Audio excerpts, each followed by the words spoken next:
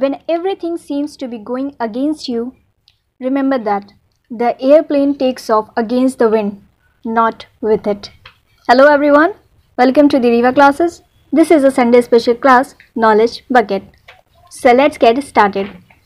Question number first is Who has been conferred with Energy Frontier Award 2020? Answer is C.N.R. Rao. Indian scientist and Bharat Ratna Professor C.N.R. Rao has been felicitated with the International Energy Frontier Award 2020. This award is considered to be Nobel Prize in Energy Research. Question number 2 is Which Indian actress going to launch her autobiography Sach Kahun To? Answer is Neena Gupta. Bollywood actress Neena Gupta is all set to launch her autobiography Sach Kahun To. Publisher Penguin Random House India. She wrote the book in 2020 during lockdown. Question number 3 is Who will be new CEO of Amazon? Answer is Andy Jassy will be the new CEO of Amazon.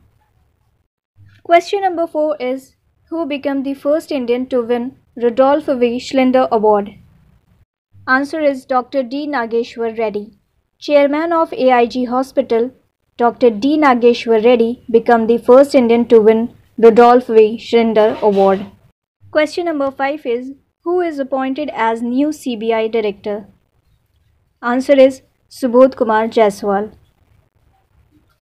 Director General of CISF and IPS officer from 1985 batch Maharashtra cadre Subodh Kumar Jaiswal is now appointed as new CBI director. Question number 6 is who receives FIH International Hockey Federation President's Award? Answer is VK Pandian, an IS officer and private secretary to Odisha Chief Minister Naveen Patnaik was conferred with President's Award by International Hockey Federation. Question number 7 is Which social media platform filed lawsuit against Indian government? Answer is WhatsApp has filed a lawsuit against Indian government. Question number 8 is Who launched Sehat OPD portal? Answer is Defense Minister Rajnath Singh.